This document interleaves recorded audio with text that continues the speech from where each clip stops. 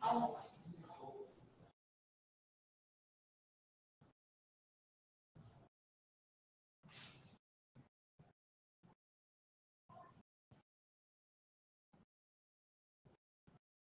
nó alo alo nghe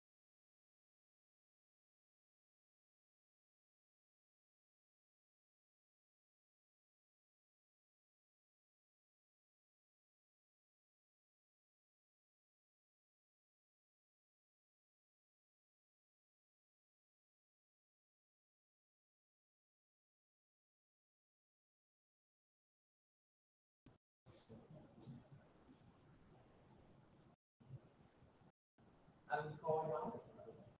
Hello. Hello.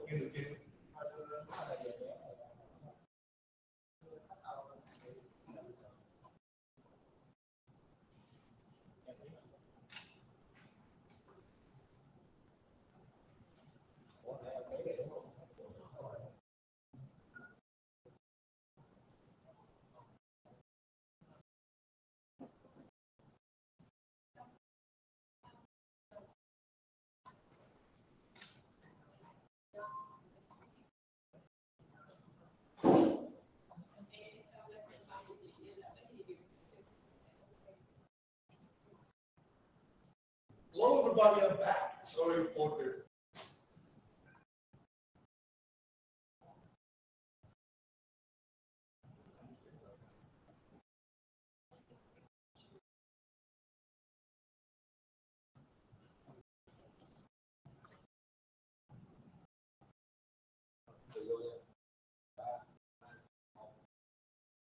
Hello, everybody. I'm back. Sorry for the disconnection.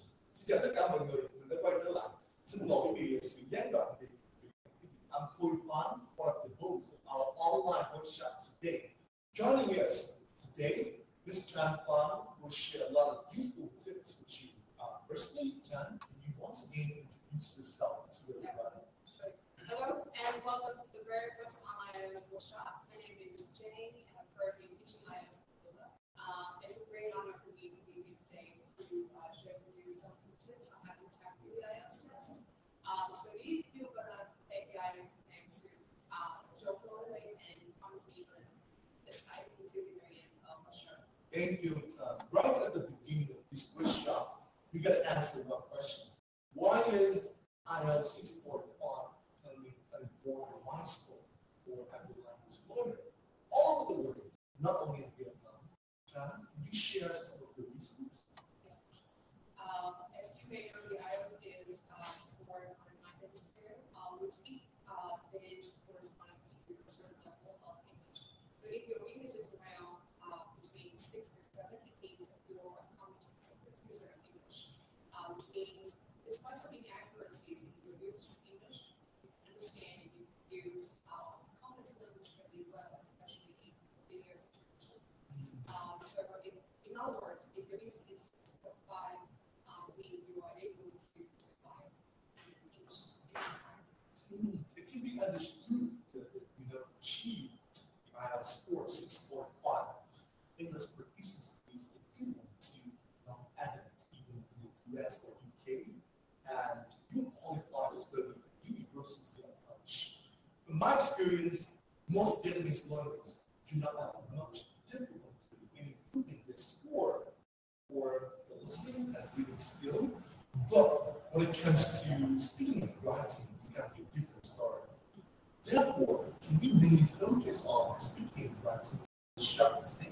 I mean, it's a great idea. So today we're going to focus more on productive skills, which are uh, speaking and writing. như mọi người đã biết phần lớn người học chúng ta ờ, sẽ không có nhiều khó khăn việc cải thiện cái điểm số listening reading tức là nghe và đọc trong đọc IELTS tuy nhiên theo kinh nghiệm của tôi thì it's gonna be a different story một cái câu chuyện hoàn toàn khác khi mà một sử dụng hai kỹ năng speaking và writing cân bằng đọc IELTS do vậy nội dung chính của cuộc workshop ngày hôm nay sẽ là speaking và writing okay. When it comes to speaking, the very first tip I'd like to share with you is you gotta be aware of test structure. Lời khuyên đầu tiên mà tôi muốn có cho các bạn đó là khi mình chuẩn bị cho phần IELTS speaking chẳng hạn, mình phải biết rõ về cái cấu trúc của bài thi. Đây có bao nhiêu bạn biết bài IELTS speaking bao nhiêu phần các bạn? Một, hai, ba hay là bốn năm? Câu trả lời là about three parts. In part one of the test, the examiner will ask you general questions about yourself and a range of familiar topics such as home, family, work, studies, and interests. This part lasts between four and five minutes. Trong phần số 1 của bài thi Speaking, giám khảo sẽ hỏi bạn một loạt những cái câu hỏi chung về bản thân liên quan đến một nhóm những cái chủ đề như là gia đình nè, bạn bè nè, công việc nè, học tập, những cái sở thích cá nhân và cái phần thi này sẽ kéo dài trong tầm 4 đến 5 In part 2, you will be given a card which asks you to talk about particular topic. Trong part 2 thì bạn sẽ được cung cấp một cái card và đó có sẵn cái đề tài bạn phải nói tương đối là chuyên sâu. Alright? You will have one minute to prepare for speaking, up to two minutes. Bạn sẽ chuẩn bị, bạn sẽ take notes, bạn sẽ ghi chú trong vòng một phút trước khi nói trong tầm một phút 40 giây chẳng hạn. Alright? The examiner will then ask one or two more questions on the same topic.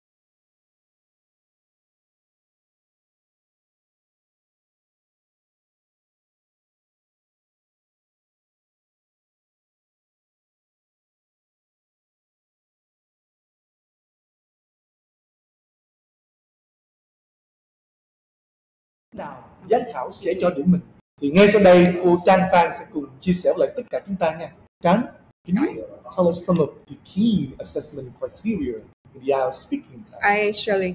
Um, so as yeah, as Thầy Khôi uh, already mentioned, there are three parts in the speaking test. Um, some people think that your speaking score is the average of all the three parts, or maybe one part um, has a higher weight than the others, which is not true. Um, actually, there are four criteria. The first one, um, which is fluency and coherence. So it's all about um, how fluent you are, how smooth it is when you speak English. Um, and coherence, speaking of coherent, is about um, how you connect your ideas together, um, how you present your ideas in a logical way and make it easy for the examiner to follow. Um, you don't have to sound perfectly flawless though, uh, but the key is to stay on the topic and make sure that what you're about to say next doesn't backfire on what you uh, already mentioned previously. Um, second would be vocabulary. Um, I put it simple as lexical resource. Um, so it's all about how you should you are expected to use less common vocabulary or, or expressions in order to achieve a higher score. Uh, grammar is the next criterion that you should pay attention to. That means you need to use a variety, a mix of different sentence structures or tenses, comparison structures, and you need to use uh, those uh, grammatical structures with accuracy. And the last one, I think that would be the most interesting one. Um, we call it pronunciation.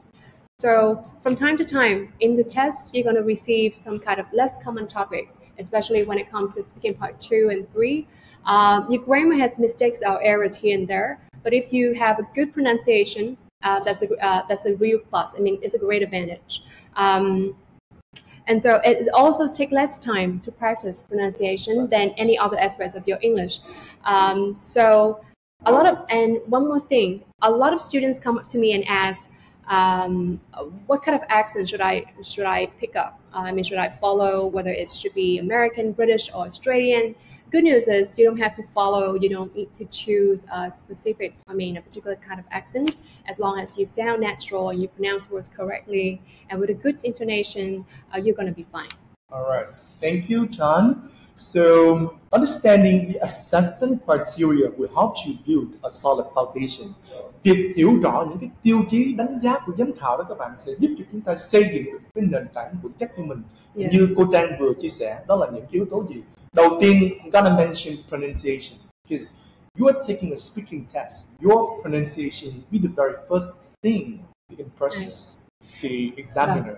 Phát âm của các bạn sẽ là yếu tố đầu tiên gây ấn tượng của lại giám khảo.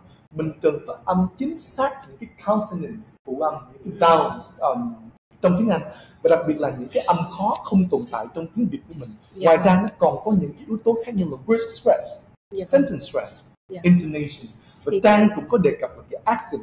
Cái Yeah. accent thì thực ra mình không cần bị ám ảnh bởi cái điều đó. Yeah. You can have an American accent, British accent, whatever. Vâng. Okay? Thực ra theo Trang thì cái phần pronunciation là cái à, cái dễ mình tập nhất luôn. Ờ, có thể là mấy bạn sẽ mất rất nhiều năm để mà mấy bạn xây dựng cái vốn từ vựng của mình đúng không? Cho rất nhiều topic trong kỳ thi IELTS. À, grammar thì cho dù người nói giỏi cỡ nào mình cũng sẽ bị ờ, có những cái lỗi here and there nó bắt buộc phải có thôi và chuyện đó là chuyện bình thường. À, tuy nhiên với cái phát âm thì mấy bạn có thể tập rất là nhanh. Ờ, có thể là Although your performance in the other areas in the speaking test is not always 100%, but you can always do 100% in the pronunciation. Right. Ok. Vậy thì trong cái phần mà mình build cái solid foundation xây dựng cái nền tảng chắc sau phát âm nó sẽ là xây dựng một cái khối lượng uh, từ vựng liên quan tới từng từng cái chủ đề Yeah. um, như Trang và Khôi đã có đề cập đó thì uh, nó sẽ có một vài cái chủ đề tương đối quen thuộc sẽ Yeah. hay xuất hiện trong part 1, part 2 và cái là part 3 Mhm. thì mình cần build up một cái range of Yeah. vocabulary thích hợp. Um, grammar, grammar uh, in terms of speaking, um, khi các bạn sử dụng grammar trong speaking thì cái điều cơ bản mà cần lưu là the correctness of tenses. Mình sử dụng thì nó phải chính xác nha các bạn. Số ít, số nhiều, hiện tại, tương lai, quá khứ. Chúng ta hay mắc một cái lỗi là do bị ảnh hưởng bởi tiếng Việt thì khi mà mình nói một cái mạch truyện và mình đang nhảy nhắc từ hiện tại về quá khứ mình sẽ quên thay đổi cái forms thì Ừ. đó là một cái một cái most common mistakes Yeah. mà mình thấy rằng ờ, người học và người thi hay Ừ, mắc phải yeah. và cuối cùng đó là cái fluency và cái coherence thực ra nếu bạn có good pronunciation bạn có a wide range of vocabulary và bạn have a good command of grammar fluency sẽ tự come à, mình không tự ép bản thân mình phải speak English fluently à, fluently nếu như mình phát âm không tốt nếu như mình không tự tin nếu như mình không có một cái lượng từ vựng nhất định để express our ideas về một cái đề tài nào đó Yeah. Alright. Um, so Ta, I think um, we may analyze some specific questions in Mm. speaking part one, for Yeah. example. What do you think? Okay, right. So we're going to dive into uh, speaking part one first. Cool. So you're ready to roll up your sleeves and get it started? I can't wait. Right. That's interesting. Can't wait to it. So speaking part one, um, what we're going to do is gonna I'm gonna show you some uh, the strategies and tips. Uh, so whenever you receive a speaking part one question, try to um, get straight to the point. Don't beat around the bush. Just answer uh, what you are asked about. Mm. Next- What do you mean by beat around the bush? As an idiom, that means you go just go around and around, but you Right. try to avoid um, answering um, the question. Right. Okay. Và cái lời khuyên đầu tiên của Trang chia sẻ là gì? Mình nên go straight. Mình cũng nên đi trực tiếp. Đừng beat around the bush là mình nói lòng vòng quá và Mm. nó cứ đi xa cái chủ đề. Come on, thank you. All right, and then you should ask yourself. I mean, you're going to add um, extra details to expand your answer or to lengthen your response. So, for example, uh, if it is a WH question, like uh, what do you often do in your free time, uh, then you should ask yourself the other WH question. So, when you're going to do it, with whom you're going to do it, uh, do you like it or not, Mm, why or why not? right? If it's a yes or no question, then you're going to go ahead, give your choice, yes or no, uh, followed by a reason why, why, why, why. Um, for lower level students, I would say in the idioms, collocation, or phrasal beat around the bush is something nice to have. But if you're here, I suppose that you want to achieve somewhere up from 6.5 and above. So then idioms and collocations and phrasal verbs is a must. Um, for the length of a response, I would say for speaking part one question, uh, you're going to speak up to two to three sentences long. Alright, that's very important. Two to three sentences. Ừ. Alright, giám khảo hỏi mình một câu, nó có thể là double question, nó có thể là yes no question nhưng các bạn nhớ rằng đừng bao giờ mình chỉ trả lời với một câu ngắn gọn. Yes I do và no I don't. Ừ. You need to expand the ideas. Alright? Ừ, Các bạn nhớ là mình sẽ cần nói ít nhất là tầm 2 đến 3 câu cho speaking part 1. À, và nhớ là hỏi cái gì thì mình trả lời đúng trọng tâm, đúng câu, à, đúng câu hỏi. À, và như thầy cô cũng có diễn tả đó, à, ban đầu mình có dùng một cái thành ngữ đúng không? Là beat around the bush, có nghĩa là mình không có được lòng vòng, à, vòng vo tâm bút, mình sẽ là hỏi cái gì và trả lời thẳng trực tiếp vào luôn. À, nhớ cho mình là speaking part 1, 2 đến 3 câu. Right. So we're gonna look at some example. Sure. Alright. Uh, the very first question. Nicole, can you help me? yeah, question? you're gonna ask me the question. John, do you enjoy the weather in Vietnam? Do you enjoy the weather in Vietnam? So, if you if you were to receive this kind of question, what are you gonna do? Uh, Don't just say yes I do or no I don't. that would be too short. Um, so this is a yes or no question. Um, so basically, commonly you're going to go ahead and say yes or no with reason. Right. So here it goes. For example, you're going to say I'm afraid on instead of saying oh no I don't like it. So you can say I'm afraid on. Um, I'm not a huge fan. I'm not a huge fan of the tropical climate here in Vietnam. Uh, I just can't stand the boiling hot weather um, in the summer months while it may rain like cats and dogs all of a sudden uh, in the rainy season. Mm. Secondly, da da da da. Yes. So as you can see here, the first things first you need to remember in speaking part one, try not to use the word in the questions. Try to Mhm. paraphrase and use your own words. So as you can see here, I don't use the word weather. Weather is replaced with tropical climate. Right, and I use other ways of expressions. I don't say I like or dislike, uh, but I say I'm not a huge fan of something. Ừ, ừ. Giờ những cái cụm từ mà cô Trang có gạch dưới trong cái sample answer là những từ đắt giá. Ờ, các bạn thấy đó, for example là not a fan of, hoặc là just can't stand the boiling hot weather, the boiling hot weather. Alright. À, vậy thì um, câu hỏi đặt ra là ờ, để chuẩn bị cho cái phần thi IELTS speaking, chúng ta có nên nhớ thuộc lòng mọi câu hỏi hay không? Trang, có nên nhớ thuộc lòng mọi câu hỏi hay không? Nhớ thuộc lòng mọi câu trả lời hay không? Should we memorize every single answer cái memorizing là một cái chuyện mà không ai à, khuyến khích các bạn hết. Ờ, nhiều khi trong trường mình sẽ quen với cái thói quen học thuộc lòng đúng không? Gọi là learn by heart. Nhưng thực tế là mình cũng không không không thực sự hiểu về nó. Và khi học thuộc lòng thì mấy bạn sẽ không nhớ được lâu. Và nhiều khi mình không nhớ được cái vô đó mình thi mình bị áp lực vào mặt thời gian và nhiều thứ các bạn sẽ nói vấp. Và như vậy nó làm cho cái câu trả lời mình không được tự nhiên. Thì ban giám khảo với những người mà có nhiều kinh nghiệm họ sẽ nhận ra được là à cái bạn này đang học thuộc lòng.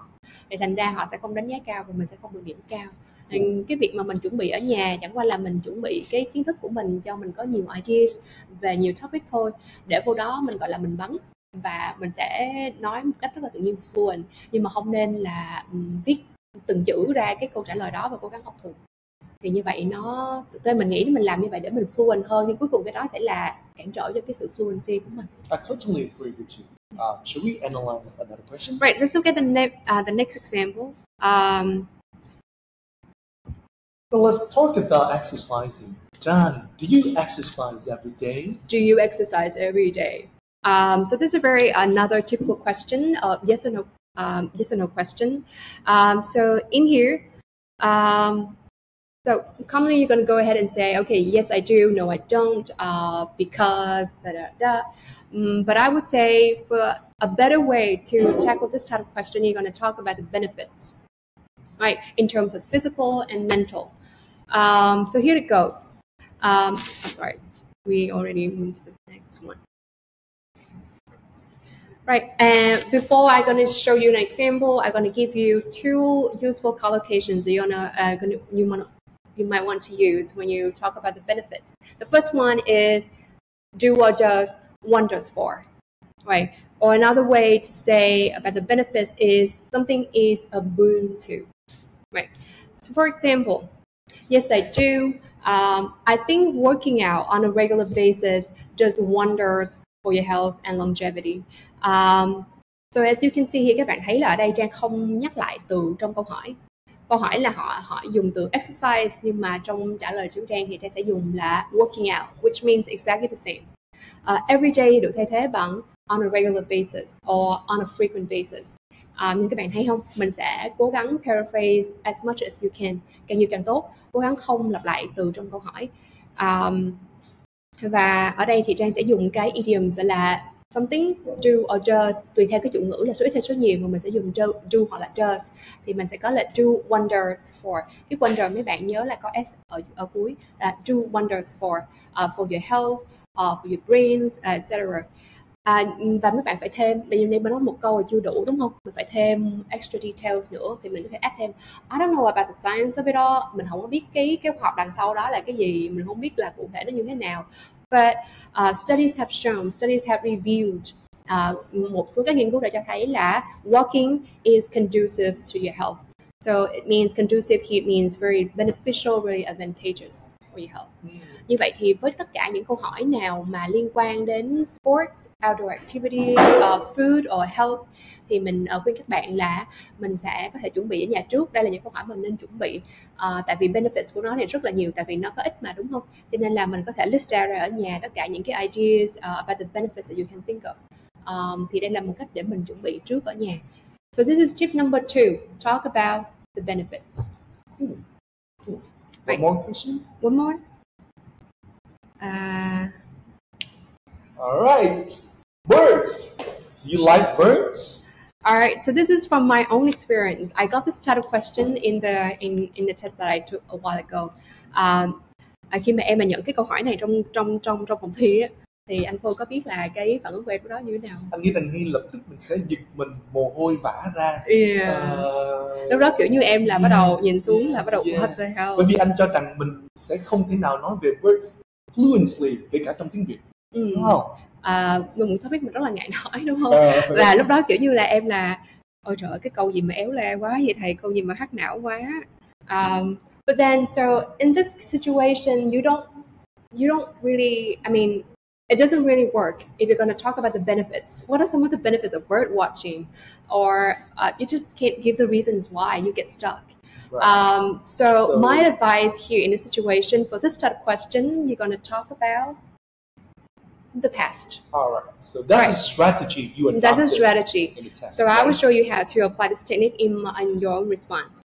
I don't even know how to feel about them, about birds. Uh, when I was a child, my grandpa used to take me to the park where there were a lot of birds. Uh, but it's been so long, and I just don't remember much about those birds. Um, and nowadays, I don't see them that often. So as you can see, mấy bạn có thể thấy là ở đây Trang dùng những cái ngôn ngữ ở đây nó không quá là phức tạp đúng không? Không có gì là cao siêu mỹ miều hết. Nó khá là đơn giản.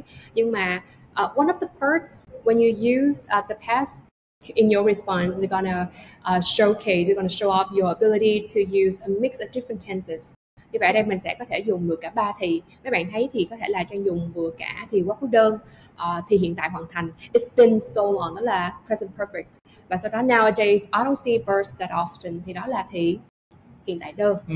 À, như vậy thì cái technique talk about the past này nó sẽ cho các bạn dùng được cả ba thì như vậy các bạn thấy không mình còn nhớ là bốn một trong bốn cái tiêu chí để mà họ chấm điểm speaking của mình là phần grammar và trong một yếu tố nhìn grammar là mình phải sử dụng rất là nhiều thì right.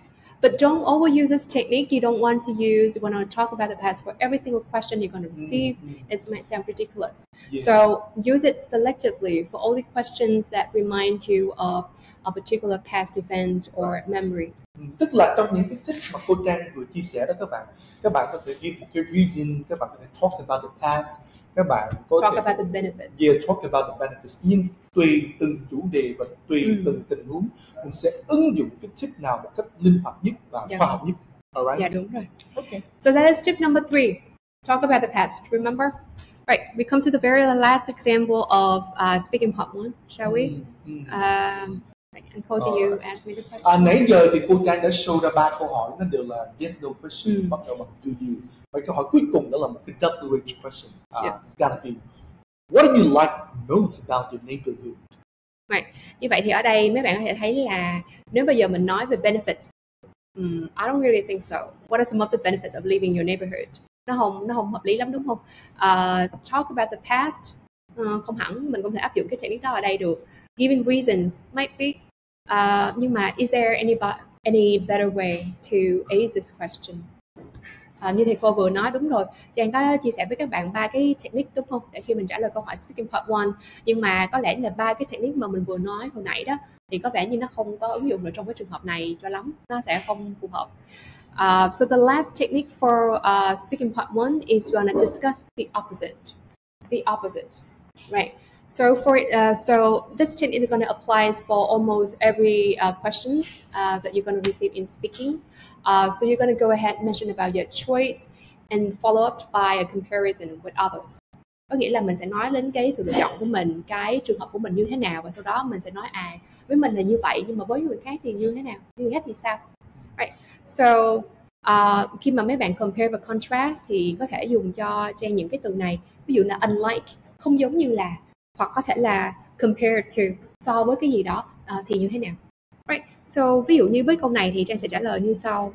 Um, I guess I suppose what I like the most about the place where I live is the fact that it's relatively quiet. Right. Các bạn đã thấy là Trang không dùng lại từ neighborhood. À, trong câu hỏi dùng từ neighborhood nhưng mà mình sẽ paraphrase lại với từ là the place where I live. À, một thêm một cái điểm ngữ pháp nữa là các bạn dùng cái relative clause ở đây Ừ. where I live. Ừ. à lại là một cái điểm ngữ pháp nữa. Ừ. à, rồi unlike đó là mình nói về mình. Nhưng mà sau đó mình sẽ nói à không giống như là những cái khu vực mà trong nội thành thành phố thì sao? Lúc nào cũng rất là ồn ào náo nhiệt. Uh, for example which is always bustling and noisy. Right. Thì ở đây cũng là một technique nữa mà các bạn có thể ứng dụng đó là discuss the opposite Um, and one of the perks when you talk about the opposite is that you're going to double the length of your response. You can make your response uh, even longer. cool thank you Chan Let's speak in part one. Let's share the screen. Um, how do I share my screen?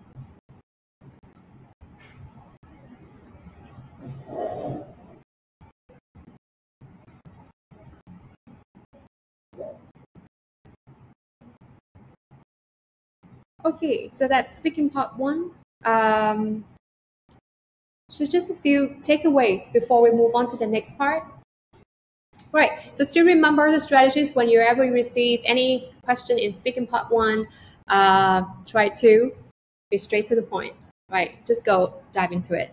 Uh, don't go around to waste the time of the examiner. So yeah, for WH question, remember try to ask yourself the other WH questions and then you got a chance to expand your answer. Uh, for yes or no, reasons, why, why, why. Uh, and remember the techniques that I showed you earlier. You're gonna either want to talk about the reasons or talk about the past. Um, the benefits do wonders for or a boon to. Right.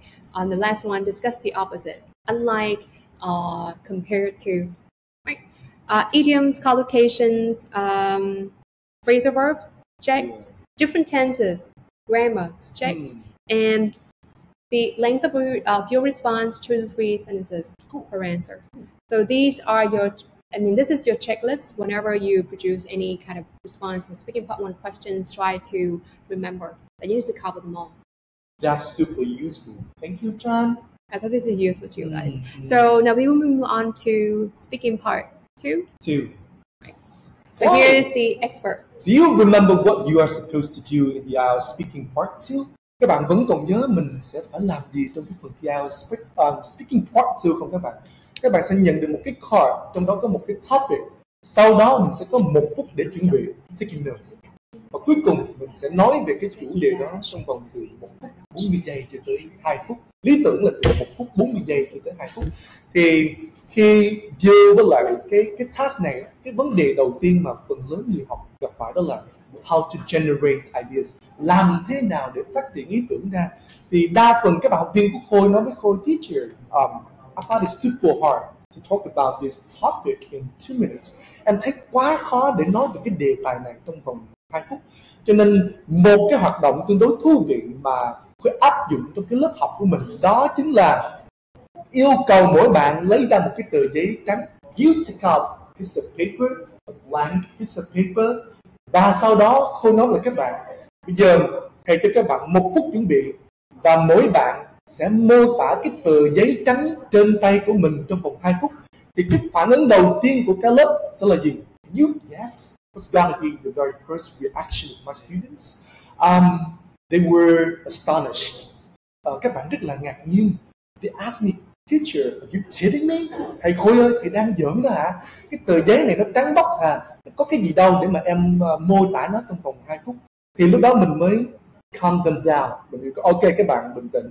à, mọi chuyện có thể giải quyết step by step và mình yêu cầu các bạn take những cái keynotes sử dụng những cái keywords những cái question words tức là who what how where when why đặc biệt ở cái mục how mà liên quan tới một cái object thì mình có thể triển khai ra một loạt uh, những cái ý tưởng dùng để mô tả một cái món đồ như là opinion.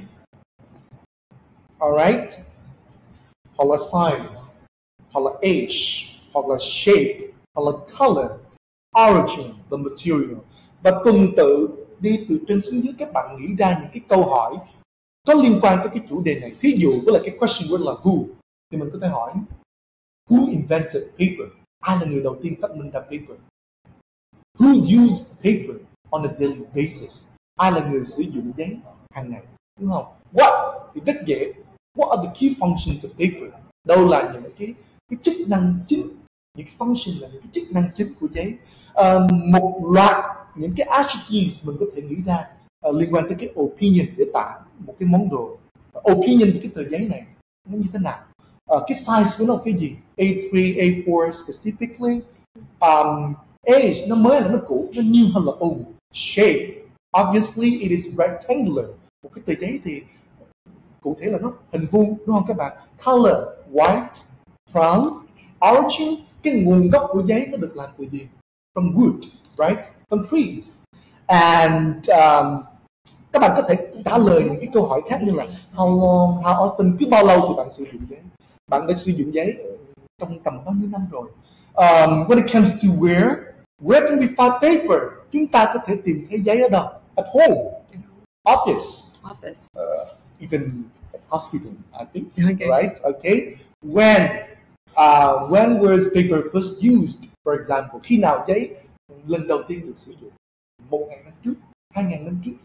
2000 years ago for example à, cuối cùng cho cái question would là why thì các bạn có thể nói là uh, for example là tại sao chúng ta phải sử dụng giấy một cách tiết kiệm hơn uh, why should we be more economical when using paper because paper is made from wood and um, overuse of paper may lead to deforestation. Therefore, in order to prevent it, we gotta be more economical when using paper. For example, thì tất nhiên cái việc generate ideas nó chính là cái foundation để mình deal with the question in class 2. Sau khi các bạn đã take effective notes, các bạn có ý tưởng, các bạn có you know adequate vocabulary để express cái ideas của mình và các bạn biết link những cái ideas lại với nhau thì mình hoàn toàn có thể deal với lại tất cả các cái loạt câu hỏi trong IELTS Speaking Part 2 và nên nhớ IELTS Speaking Part 2 yếu xoay quanh những cái chủ đề là các bạn talking about an object talking about a person right Or talking about a past event or describing a place for Mm. instance vậy thì overall những cái most common strategies mà Khôi có thể share với lại các bạn um, khi mà mình deal với lại cái speaking part 2 trong phần thi IELTS đó là gì? Number one, you gotta learn the vocabulary related to the common topics. For instance, talking about an object, a person, a place, or a past event. If possible, prepare some high level language. Nếu được, các bạn chuẩn bị một vài từ hoặc là cụm từ nó tương đối high level một tí. Thí dụ là uh, thay vì mình nói cái bạn này shy, bạn này là một cái người uh, hay mắc cỡ e thẹn mình có thể dùng một cái cái danh từ là an introvert for example hoặc là thay vì mình mô tả một cái món đồ mình nói là it is very small mình có thể dùng một cái tính từ khác là timing for instance. Okay the second tip. Take effective notes within one minute. Trong vòng một phút các bạn được cho để take note, các bạn phải viết ra càng nhiều ý tưởng càng tốt. Tận dụng cái keywords. Tận dụng mind map. Và như cô nói, nghĩ ra những cái câu hỏi liên quan cái đề tài mà mình cần phải present. Ok? Um, cái tip số 3 đó là we use structural language appropriately. Cái bài nói của mình đó, nó cần có một cái bố cục rõ ràng. Uh, well I'm going to talk about for example first or the second thing I would like to mention is mình cần có những cái signal những cái tín hiệu để để đa dấu cho giám khảo biết rằng đang chuẩn bị nói về cái gì. Cái đoạn thứ nhất mình nói về cái gì cái đoạn thứ hai mình sẽ tiếp tục nói về cái gì. Các bạn ha. Um, cái tiếp tiếp theo number four đó là speak confidently. Nói một cách tự nhiên. Lưu ý rằng các bạn được cho một phút để take notes. Nhưng điều đó không có nghĩa rằng trong suốt cái quá trình nói đó mình cứ nhìn chằm chằm vào cái tờ giấy. You gotta maintain eye contact with the examiner. Các bạn phải duy trì cái eye contact cái tiếp xúc bằng ánh mắt với lại giám khảo. And just glance occasionally at your notes. Mình chỉ liếc xuống vào cái phần ghi chú của mình thỉnh thoảng cho các bạn. Và cuối cùng trong cái trường hợp mà các bạn có cái cảm giác rằng uh, sau khi mà mình đã uh, trình bày xong hết những cái ý tưởng rồi mà vẫn còn thiếu tầm 15 20 giây hay là 30 giây gì đó liên quan tới cái chủ đề thì mình có thể nghĩ ra một cái câu chuyện. Alright, thí dụ bạn được yêu cầu tả một cái cà vạt cái món đồ đi thì trong vòng hai ba mươi giây cuối bạn có thể kể một cái câu chuyện liên quan tới cái món đồ đó. Ai tặng bạn? Cái ý nghĩa của nó là như thế nào? Vân vân và vân vân thì đó là cái cách mà mình có thể add thêm cái thời gian vào trong cái bài talk của mình speaking part 2 that's it Thank you very much, Tekoi, for your useful strategies for speaking part 2. À, như vậy các bạn chẳng có thể thấy là hầu hết là đối với khi mình nhận câu hỏi của speaking part 2 thì mình cũng sẽ xoay quanh những cái câu hỏi về WH đúng không thầy? Có nghĩa là mình sẽ tự hỏi mình là what nè, when, where, why, how rồi trong cái how đó thì quá trời mọi thứ, những cái details khác. Ví dụ như về mô tả cái tờ giấy trắng không thôi thì mình cũng thể nói về age, về size, về shape, và tất cả các thứ, rất là nhiều những cái details. Thì cứ như vậy, cứ mỗi những cái điểm nhỏ mà mình tự hỏi bản thân, mình tự vấn bản thân mình trong phòng thi, thì kiểu gì các bạn cũng sẽ có được rất là nhiều những cái ý tưởng để mà mình nói. Thì mình sẽ nói được hết cho cả tầm 2 phút thôi. Yeah. Thì thí dụ quay trở lại cái tờ giấy trắng hồi nãy đó các bạn, chúng ta có thể là paper was first invented by the ancient Chinese and um, it can be used for multiple functions for Mm. example. Đó thì cái đoạn dẫn đầu là các bạn đã có cái ý tưởng các bạn triển khai. Ờ, một hai câu đầu nó rất là quan trọng. Nếu giám khảo thấy rằng mình nói tự tin at the beginning thì ờ, những cái đoạn sau đó cái fluency của mình ờ, nó sẽ được gia tăng củng cố thêm cái sự tự tin cho người thi và cho cái người giám khảo. Cái sự tự tin đó rất quan trọng. Để khôi chia sẻ với các bạn như thế này. Cho nên giám khảo người ta không có được cái lợi gì khi người ta cho các bạn điểm cao hết trơn đúng không? Mà lỡ người ta cho các bạn điểm cao quá tay đó khi mà về hội đồng kiểm định lại, có khi người ta còn bị trục trặc gì đó. Cho nên khi mà mình nói đó, cái quan trọng nhất là cái sự tự tin của mình phải truyền được cho giám khảo, để người ta quả quyết rằng người ta cho bạn một cái con một cái con điểm cao giống như vậy Dạ. và nó hoàn toàn xứng đáng người ta cảm thấy rất là sướng khi ngày hôm nay gặp được cái thí sinh nói hay quá tự tin quá Yeah. tôi tự hào tôi tuyên bố cả thế giới rằng ngày hôm nay tôi cho cái bạn này điểm cao Yeah. còn khi mình không truyền được cái sự tự tin cho người ta đó người ta đặt cái bút xuống người ta chần chừ không biết có nên cho bạn này điểm cao không lỡ cho điểm cao quá đợt tới không được làm giám khảo nữa làm sao ví dụ như vậy thì đó là cái câu chuyện à, cũng là thú vị hậu trường khôi chia sẻ lại các bạn nha Yeah. Trang thấy cũng rất là hay, đó là cái cái tip cuối cùng mà anh Khôi chia sẻ đó. Tức là trong trường hợp mình biết quá mình không biết nói gì nữa thì mình sẽ kể một câu chuyện. Được nhưng mà đừng có xa đà quá thì mình cũng, thực sự mình cũng không có nhiều thời gian, đúng không? Chỉ có hai phút để tỏa sáng thôi. Thành ra là mình sẽ cố gắng vận dụng hết cái hai phút đó để mình tỏa sáng bằng cách nào. Thì nếu như mà không còn cách nào khác, bí ý quá rồi, thì mình có thể tell a story. Thì bằng cách đó mình sẽ vận dụng được cái ngữ pháp là từ quá khứ. Ờ, nhiều khi mình talk about the past mấy bạn nhớ không? Ở speaking part 1 thì ở đây speaking part 2 cũng vậy. Ờ, thì đó cũng là một cái một cái tip mà trang nghĩ rất là hữu ích. Vậy là chúng ta đã xong được speaking part 1 và part 2 à tuy nhiên speaking còn một phần nữa mà đúng không em? Dạ đúng rồi. Phần này cũng rất là quan trọng. uh, that's speaking part 3 right? Um, thì ở đây thì trang sẽ chia sẻ với các bạn một uh, đầu tiên là speaking part 3 các bạn cũng biết thì nó sẽ là về những cái câu hỏi uh, chuyên sâu hơn nhưng nó sẽ liên quan đến chủ đề mà các bạn nhận được trong uh, part 2 uh, ờ, và không giống như trong speaking part 1 thì các bạn chỉ cần nói 2 đến 3 câu là đủ đúng không? Nhưng mà speaking part 3 thì nó sẽ phải đòi hỏi cái độ chiều sâu hơn thành ra 2 đến 3 câu là không đủ. Mình phải nói tầm 5 đến 7 câu I would recommend um, từ 5 đến 7 câu thì mới được nha. Um, rồi ở đây thì Trang hôm nay sẽ chia sẻ với các bạn một vài những cái câu mình sẽ có tổng cộng khoảng là 5 câu hỏi thường gặp và phổ biến nhất mà các bạn sẽ gặp trong speaking part 3 dạng thứ nhất đó là So the very first type of question you're going to receive in speaking part 3 is compare and contrast. Uh, so either you're going to compare between the past, the present, or the present and the future. Uh, có một lần ở trang thi và uh, được hỏi một cái câu là uh, uh, do your people in uh, do people in the country sh- uh, often go shopping and can you predict that people will shop more or less in the future Yeah. à như vậy một cái câu mà xuyên thời gian luôn xuyên không luôn có nghĩa là vừa nói đến quá khứ như thế nào rồi so sánh hiện tại và tương Ừ. lai và bạn phải ghi được cái predictions à tương lai như thế nào dựa trên những cái based on the current facts and events Một lần anh thi đó, anh cũng bắt gặp cái câu hỏi compare và contrast giống như Yeah. vậy, tức là compare cái fashion à giữa châu Âu và châu Á dạ và vâng. mình cũng dự đoán những cái fashion trends in the future. Right. Như vậy Yeah. thì có thể là so sánh ở đây không những về mặt thời gian mà không gian luôn có thể là một cái chủ đề khác ví dụ cái cái taste về music hay là về fashion giữa người châu Á hay là người người, người phương Tây chẳng hạn Right. hoặc cũng có thể là sẽ so sánh giữa phụ nữ và đàn ông men and women À, ví dụ như có thể là sao một câu là à, do men and women in your country uh, share the same hobby mà ví dụ như là phụ nữ và đàn ông ở nước của bạn thì có cùng một sở thích hay là không? À thì như hồi nãy với speaking part 1 thì Trang cũng có chia sẻ là các bạn sẽ paraphrase câu hỏi càng nhiều càng tốt đúng không? Thì speaking part 3 cũng như vậy mình sẽ cố gắng paraphrase nhiều mức uh, nhiều nhất có thể. Nhưng mà đầu tiên á tại vì speaking part 3 thì mình sẽ cần phải nói dài hơn. Thành ra là mình nên có một cái câu gọi là general statement.